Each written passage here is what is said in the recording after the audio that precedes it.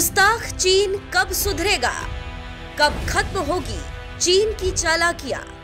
डोकलाम विवाद के बाद गलवान घाटी और अब तवांग झड़प। 2023 में चीन का क्या होगा? देखिए सिर्फ़ धर्म ज्ञान पर। नमस्कार धर्म ज्ञान के दर्शकों का स्वागत है। मैं आपके साथ कविता राणा और मेरे साथ हमेशा की तरह है आचार्य मयंक शर्मा जी आपका स्वागत है सर। धन्यवाद कविता सभी दर्शकों को सादर नमस्कार।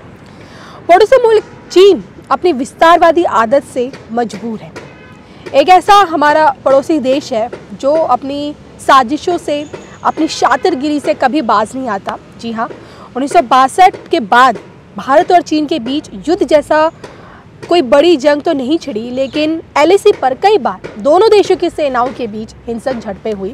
और चौदह के बाद तो देखिए, डोकलाम विवाद आपने देखा होगा, गलवान घाटी में जो हुआ वो आपने देखा होगा। और अब हाल फ़िलहाल में तवांग में, अरुणाचल प्रदेश के तवांग में जो एलएसी पर जो खूनी झड़प अभी हुई है दोनों देशों के जवानों के बीच, उसके बाद तो देखिए भारत और चीन के रिश्तों में एक बार फिर से तनाव आ गया है दोनों देशों के बीच जो भी संबंध थे अब एक बार फिर से एक बुरे दौर से गुजर रहे हैं। और इसमें सवाल ये उठता है कि आने वाला समय इन दो देशों के लिए कैसा रहेगा इन दो देशों के संबंधों के लिए कैसा रहेगा?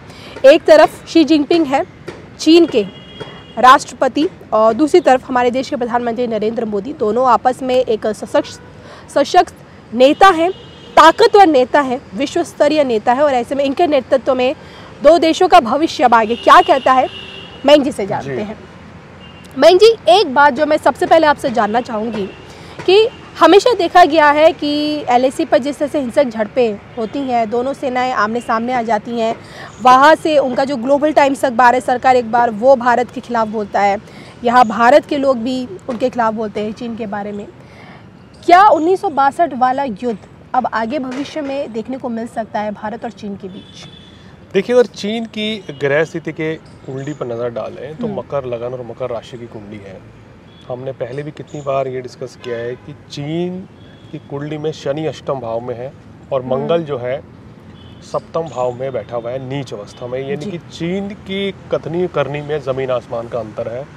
चीन चाहे कितने दावे कर ले कि वो सीमा रेखा का उल्लंघन नहीं कर रहा है या आगे से वो कोई ऐसी हरकत नहीं करेगा या किसी और देश को परेशान नहीं करेगा तो उसकी इस विचारधारा पर, उसकी इस बात पर कतई विश्वास नहीं किया जा सकता।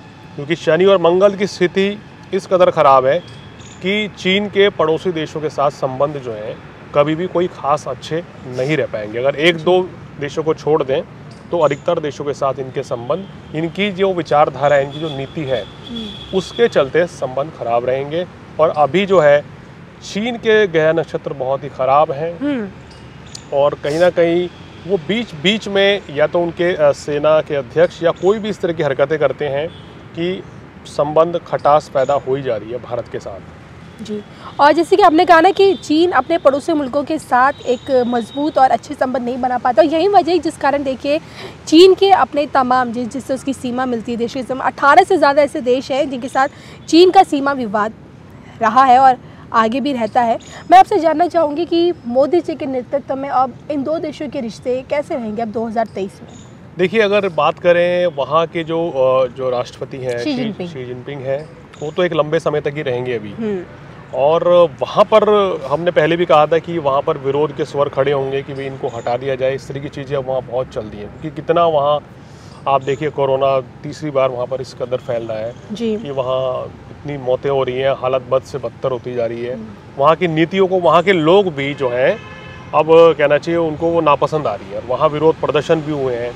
तो कुल मिलाकर कहने का मतलब ये है कि वहाँ स्थितियाँ खराब से ख़राब होती चली जाएँगी अगर हम बात करें आने वाले आठ से दस सालों में तो चीन का समय जो है इतना बेहतर अभी नहीं रहने वाला है। जहाँ तक बात है भारत के चीन के संबंध देखिए भारत के चीन के संबंध जो है बहुत ज़्यादा मधुर रहते हुए नज़र नहीं आ रहे हैं।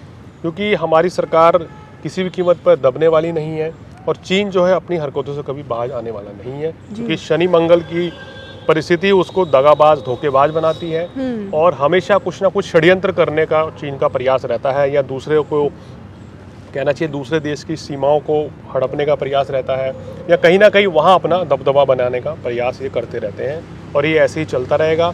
लेकिन दोनों देशों के बीच में कोई बड़े युद्ध की आशंका इस तरह के खतरे के बादल कोई नज़र रहते हुए नज़र नहीं आ रहे हैं। एक दूसरे के खिलाफ छीटाकशी वाद विवाद और बयानबाजी ये ज़रूर ऐसे ही चलती रहेगी। और ये विवाद इस तरह से एक लंबे समय तक अभी चलेगा। जी जिस तरह से भारत ने पाकिस्तान को एक बड़ा सबक सिखाया एयर स्ट्राइक और आपका सर्जिकल स्ट्राइक करके क्या लगता है?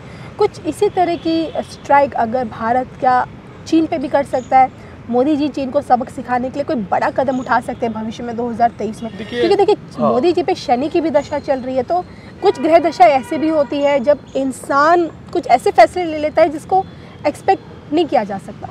देखिए अगर दोनों देशों की गृह स्थिति की बात करें हम्म। तो अभी इस तरह के हालात कोई नज़र नहीं आ रहे हैं इन दो देशों के बीच में कि भविष्य में कोई छोटे मोटे युद्ध की भी आशंका या कोई सर्जिकल स्ट्राइक या किसी तरह कोई वाद विवाद वो ऐसा रहता हुआ नज़र नहीं आ रहा है। ना भारत ही ऐसे कोई कार्य करेगा ना ही चीन इस तरह से अब भारत को दबाने का प्रयास करेगा इस तरह के हमले करके। हम्म। अब आप देखेंगे एक समय बता रहे हैं आपको अप्रैल 22 अप्रैल के बाद अंतर्राष्ट्रीय मंच पर चीन को काफ़ी आलोचनाओं का सामना करना पड़ेगा और काफ़ी विपत्ति जो है वो चीन में रहेगी। तो चीन के लिए जो वर्ष है 2023 जो है वो बड़े किसी कहना चाहिए बड़े संकट से कम नहीं रहेगा आने वाला। और अभी तो इतना कोरोना ही फैल रहा है इसको निकलने में बहुत समय लग जाएगा लेकिन बाद में 22 अप्रैल के बाद से जो गृह स्थिति वहाँ बन रही है वो संपूर्ण वर्ष तक खासकर अक्टूबर तक के लिए उतनी बेहतर नहीं है। उसकी जो नीतियाँ हैं जो विचारधारा है उसका विरोध पूरे विश्व में होगा। और भारत के साथ संबंधों में जो है वो इस वर्ष मधुरता बहुत ही कम देखने को मिलेगी। कोई ना कोई वाद विवाद या कोई ना कोई बयानबाजी विपरीत परिस्थिति का माहौल बना रहेगा। जी। एक डर का माहौल सभी लोगों के मन में भी रहेगा लेकिन ऐसा कुछ होगा नहीं। कि कोई बड़ा परेशानी आए या युद्ध के हालात बने। चलिए तो ये थे मिस्टर मैंग जी जिनसे मैंने जाना कि मौजूदा स्थिति को देखते हुए भारत और चीन के रिश्ते अब आगे, आगामी 2023 में कैसे रहने वाले हैं। इसी के साथ हम दोनों को दीजिए इजाज़त। नमस्कार।